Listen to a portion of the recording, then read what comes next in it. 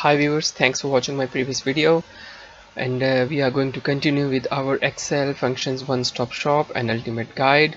Uh, in my previous video i covered all the text related functions and explained with examples. Today i'm going to cover these logical functions and formulas and some of the logical operators over here. And we will see those by example. So if you want to see my previous video you can find it in my youtube channel. And please subscribe so that you can uh, get notification whenever the new video is uploaded. I'm going to cover all these important function in the upcoming videos. So let's uh, jump um, to our topic today. So let's continue with our topics today. And um, that is if statement. As you can see I have all the if related functions uh, and uh, uh, statements in this drop down menu. Here you can see and the topic we are discussing here you will see uh, what that particular function or statement actually does and this tells uh, the syntax of um, the formula or the statement here. We will uh, apply whatever we learn over here uh, through an example and uh, we will see how these statements work in a real-time practical example let's see uh, let's start and continue with our very first statement that is uh, if statement if is a very very commonly and widely used function and uh, many people who are working with excel have to deal with the if statement uh, more than many time uh, in their day-to-day -day workings. As you can see if has three arguments uh, the very first argument is a condition or you can say a logical test. The second argument is the value of if true and the third argument is the value. If false so the second and the third arguments are dependent on the very first uh, condition the outcome of the condition. And in this value if true or value if false you can give uh, the reference uh, cell references or you can use another calculation or you can simply type something in quotation marks or you can simply give another number uh, to be displayed or populated in that cell all three arguments are compulsory arguments. There is no optional argument. Here you can see I have a sample invoice and uh, I'm going to apply this if statement and see how this works uh, in um, day-to-day -day working. Uh, let's put some uh, data in uh, for our invoice. For example if this is CPU and monitor uh, you can see the codes over here and the prices are over here. I'm not going to use the VLOOKUP we just simply type uh, the value. We can we are we will be looking at the VLOOKUP in the coming videos. Just simply we are going to see if statement. Quantity for example uh, 10 and monitor for example 15 and um, ignore the discount at present. So you can see um, unit price is 120 and uh, the quantity is 10 the total price is 1200 for the CPUs and uh, 1200 for the monitors just to change for example 16 so 1280 for the monitors and 1200 for CPUs and this is the total price um, without GST or VAT what I want to do now I have a cell containing yes and no drop down menu uh, drop down list. So what I do want to do if the user select yes the system should calculate uh, the VAT if there is no the system should display a nil value. So how this works so is equal to if the logical test what is the logical test? This cell if this is equal to yes what will happen? Yes if this is true means yes I want to see the VAT inclusive value or the VAT on this amount so I press this cell reference time say 20% is the VAT rate or GST rate. And what if the value is false? Do nothing. It's a nil value. Here is it. So here is it. No if I change this no to yes it calculated uh, 496 pound as VAT or GST on this amount. And this is another way you can see a VAT inclusive or VAT exclusive amount. If I press no this is a VAT exclusive amount. If I press yes this is a VAT inclusive amount. This is a very simple way of using if statement. If I want to uh, for example uh, change uh, in the zero instead of zero or um, the, I want to change the VAT rate. Or for example there is a flat rate VAT for example 900 pound is the flat VAT rate. There is nothing. So this is just to show how we can use this if statement. I press F. See? It 100 pound. If I press no this is no. If I press yes and you can see it's just calculating a flat rate uh, 100 pound for the VAT so this is the v, uh, if statement uh, apply it to the various uh, formulas to, to practice and learn how this works.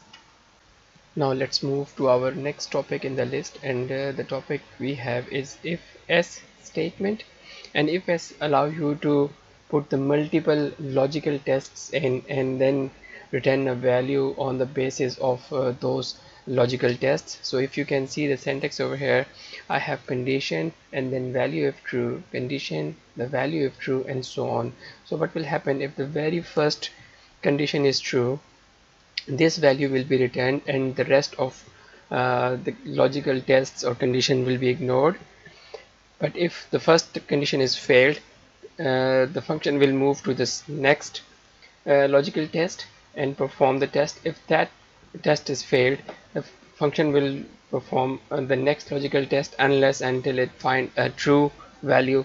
And if it find the true value at the very first or very second or very third for example uh, the logical test the re rest of the statement will be ignored. A very useful uh, condition a very useful statement uh, I have seen people asking for how to create a grading system or how to create categories or groups. So you uh, they can use this if statement uh, to achieve this task. So let's see how this if else actually works. So let's apply this multiple if condition to our example. Suppose we have a discount policy for uh, all our items. Uh, CPU is 5% uh, and the monitor is if I just do it like this and do it percentage CPU is 5% monitor say 6% and then on the keyboard if I just apply the format. And for keyboard we have a 4% discount rate flat discount rate and 3% on the mouse yes? So we want to calculate the discount on the basis of the item code over enter over here and obviously uh, it could be CPU it could be monitor it could be keyboard it could be mouse it could be anything. So there have at present we have four different uh, item codes. So uh, uh th this cell could have any of those four items. We need an if statement that will check item uh, multiple times and then return a value. For example if this cell is equal to CPU then what will happen? It should return a 5% okay? And then again if this cell is equal to monitor then the uh, discount code is say 6% you can directly give the cell reference as well if you want to. And if this item here is keyboard the discount code is say 4% and if this item is equal to mouse the discount code is 3% over here. Okay so uh, it has uh, correctly selected 5% this time. If I change it to keyboard it will be 4% if I change it to mouse it will be 3% if I change it to monitor it will be 6% so let's copy that to the next row over here.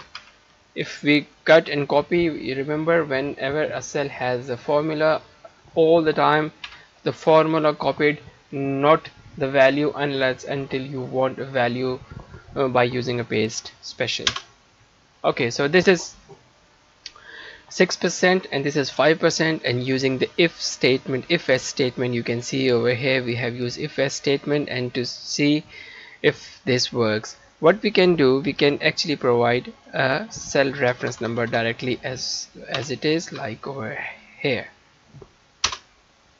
See just to explain things if I want to change the cell reference I we have changed uh, the policy and the, what is the benefit of cell reference? If you change the policy you have to go in and type the formula again.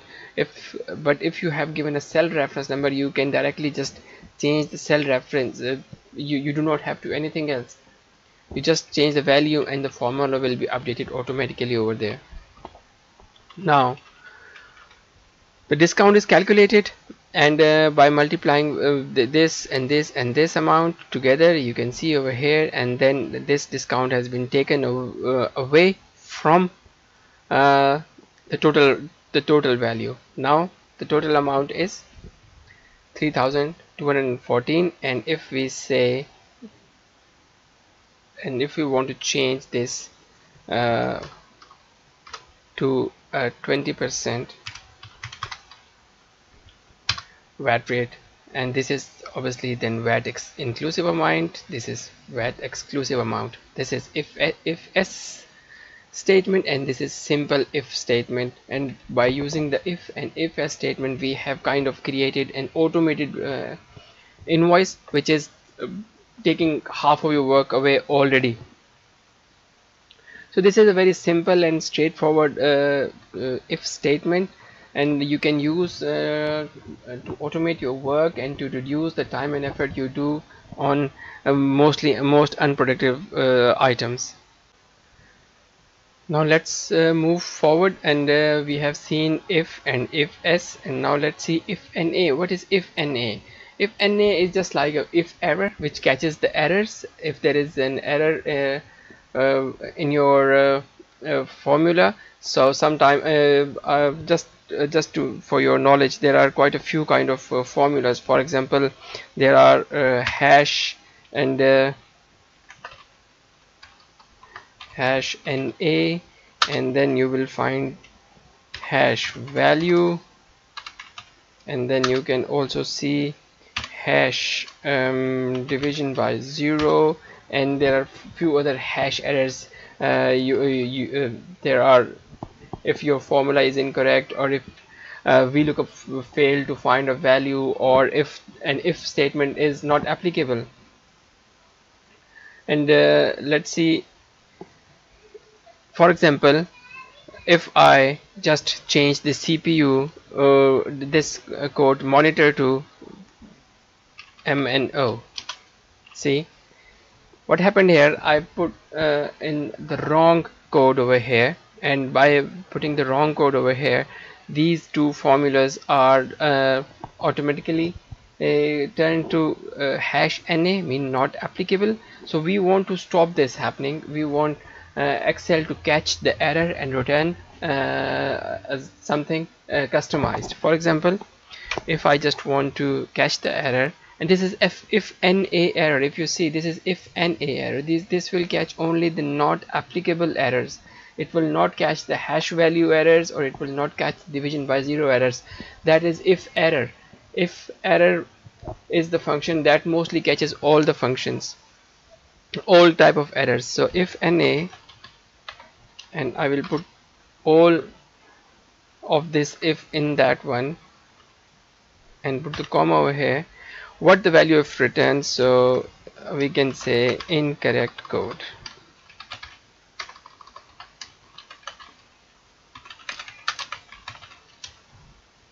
okay. Let's see. See? Incorrect code. Because we have put the incorrect formula in. We just copy it over here. That's correct code. If we have CPU uh, by mistake we typed in top. So instead of giving the incorrect value formula it will give us uh, uh, incorrect code. And uh, if I just change it to CPU you can see it was working. If I change to Monday uh, monitor it will uh, working fine. Let's uh, apply and see if error as well. See? If error again catches the error and return a customized message. If I changed this uh, CPU to cup for example you can see we have catch this um, uh, hash not applicable value uh, error but we are not able to catch this hash value error. Let's catch this hash value error uh, by using the if error. This is the value if error return incorrect code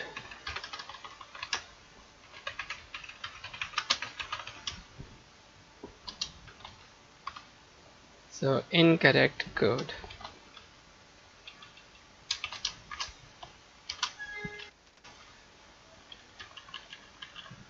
You have to put in the bracket over here. See incorrect code. What has happened?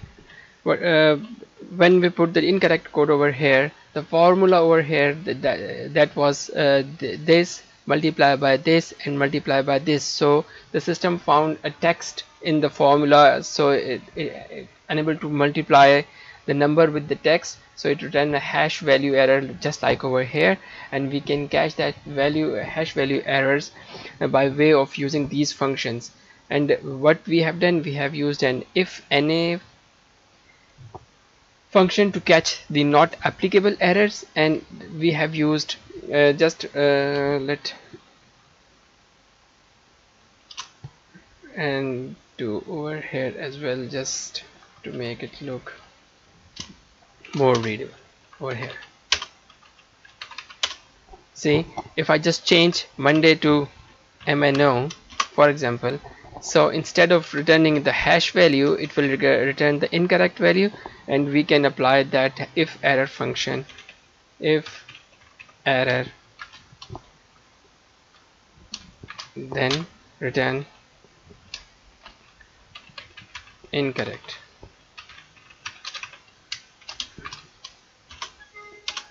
And again uh, number of brackets uh, over here we have how many brackets over here? Over here like this. See now you, uh, you, you will not see the error instead you will see a customized message that incorrect uh, code. Let's uh, let's correct the code and and you see it will update it automatically. Over here just to repeat and just to revise there are hash na errors there are hash value errors there are hash division by zero errors and what we have used for if na we have used if na to uh, to catch only these errors this not applicable errors.